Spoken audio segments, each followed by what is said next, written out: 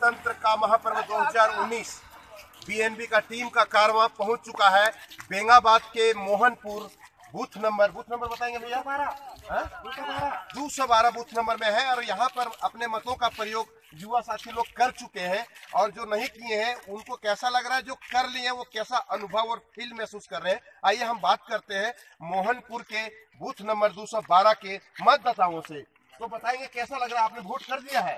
उंगली दिखाएँगे तभी ना मानेंगे कि आपने वोट दे दिया है। देखिए वोट तो लगभग सभी ने दे दिया है। कैसा लग रहा है आपको वोट दे करके इस बार हेमंत सरकार हेमंत सरकार जी जो सरकार बनाएँगे अच्छा। ये हम लोग का पूरा आशा और विश्वास है। हेमंत जी इस बार सरकार बनाएँगे पूरा विश्वास है ये इन्होंने वोट देने के बाद कहा है। और कुछ युवा साथी यहाँ पर है बताएँगे भाईजान थोड़ा कैसा लग रहा है वोट देने के बाद बहुत अच्छा लग रहा है वोट दे के हम लोगों को।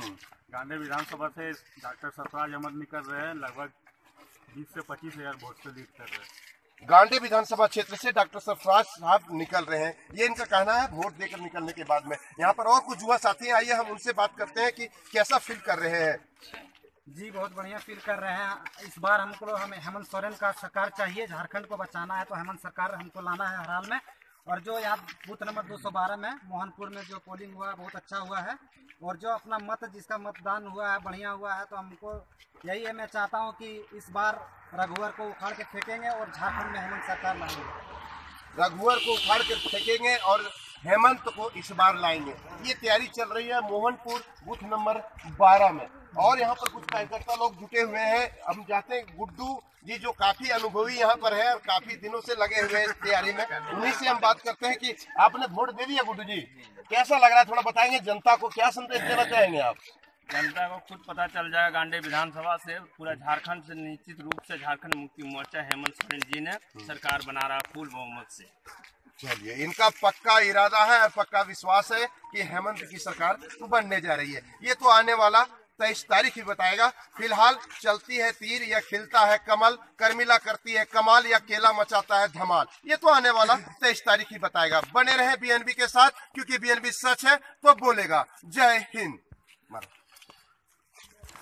वो काट लिया मुश्किल का आ गया। तो स्कूल पूरा है ये लोकतंत्र का महापर्व 2019 आइए हम पहुँच चुके हैं। आप देख सकते हैं बेगाबाद के कदमा टोल। का बूथ बूथ नंबर बताएँगे यहाँ पर कितना है जी? 218 बूथ नंबर पर पहुँचे हुए हैं। शांतिपूर्ण यहाँ पर मतदान हो रहा है।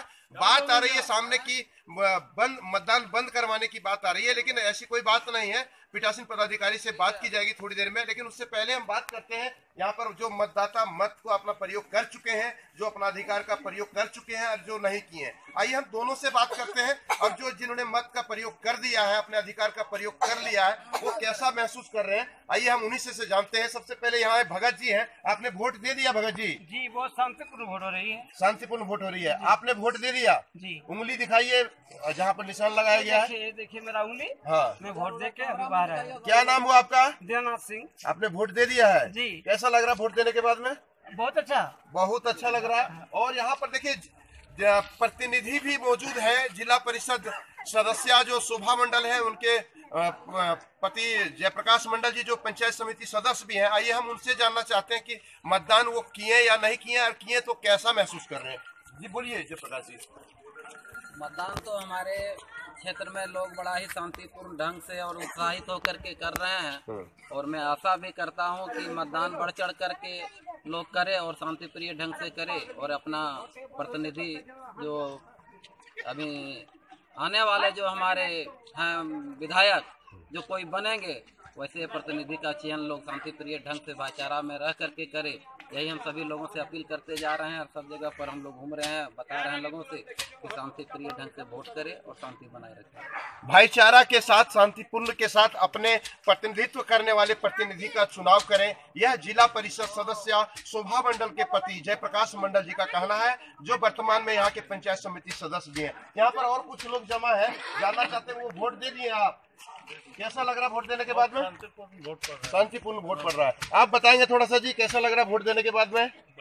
वोट आपने दे दिया है। उंगली दिखाइए तबे ना समझेंगे कि आपने वोट दिया है। चलिए वोट इन्होंने भी दे दिया है। काफ़ी शांतिपूर्ण मतदान है। प्रशासन की भी दुरुस्त व्यवस्था है। प्रशासन भी यहाँ लगे हुए हैं। कोई तरह का कोई दिक्कत है क्या नहीं, नहीं, किसी भी तरह का कोई परेशानी नहीं है। बहुत शांतिपूर्ण बिल्कुल शांतिपूर्ण तरीके से हो रही है। और भी आप देख सकते हैं अंदर भी यहाँ पर लाइनें लगी हुई है, काफ़ी महिलाएँ की लाइन लगी हुई है। देख सकते हैं, यहाँ पर आंगनबाड़ी सेविका और रोज़गार सेवक बीएलओ वगैरह सभी मौजूद है, सभी शांतिपूर्ण मतदान करवा रहे हैं। देख सकते हैं, इधर महिलाएँ भी काफ़ी लाइन में लगी हुई है और मतदान करने के लिए तैयार है, अपने अधिकार का प्रयोग करने के लिए तैयार है। आप वोट देने के लिए जा रही है? कैसा लग रहा है वोट देने के लिए जा रही है तो? ये तो नहीं पूछ सकते कि आपने किसको वोट देना है, नहीं देना है, पर अपने अधिकार का आपको प्रयोग करना है। तो आप वोट देने के लिए जा रही है। क्या नाम हुआ आपका? इसी बूथ से आप हैं? रूपा देवी है और इसी बूथ से है और मत का अपना अधिकार का प्रयोग करने के लिए जा रही है। सुरक्षा व्यवस्था की देख सकते हैं, यहाँ पर काफ़ी तंदुरुस्त है। बताएँगे भैया वोट दे दिए? नहीं दिए हैं। लाइन में लगे हुए हैं, कतार में अब तक लगे हुए हैं वोट देने के लिए, अपने अधिकार का प्रयोग करने के लिए। यहाँ पर बीएलओ रोज़गार सेवक वगैरह भी है, आइए हम उनसे भी बात करते हैं। किस प्रकार चल रहा है वोटिंग चल रहा है। अच्छा देखिए ये आंगनबाड़ी यहाँ की सेविका है जिनका ड्यूटी दिया गया है। बीएलओ बीएलओ तो उनको ड्यूटी दी गई है बुज़ुर्गों का सेवा वगैरह हो रहा है सर? हो रहा है। अच्छा अच्छा आप मतलब उनको ला करके वोट डलवा रही हैं? चलिए ठीक है।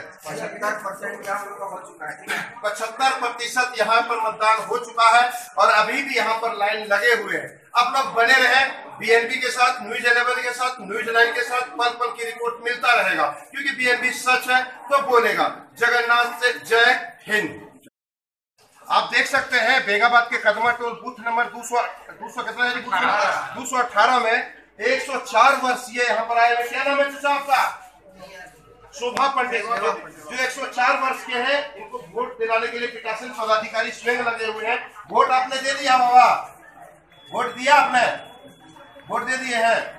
वोट ये दे दिए हैं। कैसा लग रहा है वोट देने के बाद में? अच्छा लगता है।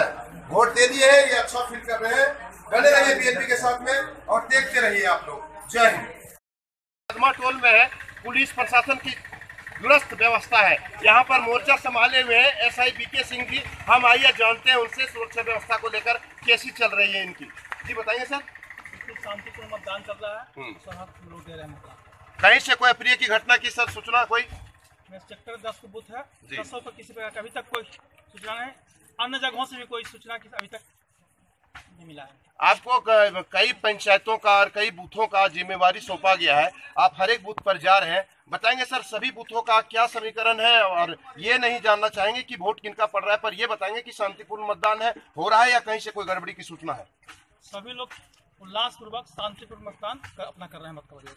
उल्लास पूर्वक और शांति पूर्वक मतदान, सभी अपने मत का प्रयोग कर रहे हैं। बने रहे आप लोग न्यूज़ इलेवन बीएनबी के साथ, न्यूज़ लाइन के साथ, क्योंकि बीएनबी सच है तो बोलेगा, जय हिंद। हैदराबाद कदमा टोल के बूथ नंबर 18 में है, और बता दें कि यहाँ पर पाँच बूथ है, और पाँचों बूथों में पेनी नज़र यहाँ के जो मुखिया पति राजेंद्र पंडित जी हैं जयप्रकाश जी हैं जो पंचायत समिति सदस्य इन लोगों की बनी हुई है। आइए हम बात करते हैं एमपी साहब मुखिया पति राजेंद्र पंडित से कि किस प्रकार की यहाँ चल रहा है चुनाव का समीकरण और किस प्रकार हो रही है वोटिंग? कहीं से कोई गड़बड़ी की सूचना है? ये बताएँगे मुखिया जी। हमारे पंचायत में पाँच बूथ है और सभी बूथों में शांतिपूर्वक और सही रूप से मतदान हमारे लोग कर रहे हैं और करा भी रहे हैं। किसी भी प्रकार की कोई भी किसी भी प्रकार की दिक्कत कठिनाई नहीं है। क्या मुखिया जी हर बूथ में जो बुज़ुर्ग वगैरह है वो जो जा रहे हैं उनको कोई सुविधा वगैरह मिल रहा है या नहीं मिल रहा है? सभी सरकार की ओर से विकलांग के लिए टेंपो की व्यवस्था की गई है। सभी लोग उत्साहित होकर के अपना मतदान कर रहे हैं। सभी लोग उत्साहित होकर मतदान कर रहे हैं और शांतिपूर्ण मतदान कर रहे हैं। और बने रहे आप लोग बीएनबी के साथ में और देखते रहे पल पल की खबर पूरे बेंगाबाद प्रखंड क्षेत्र की कहा किसने कैसे वोट डाला और क्या कहा? क्योंकि बीएनबी सच है तो बोलेगा। जय हिंद।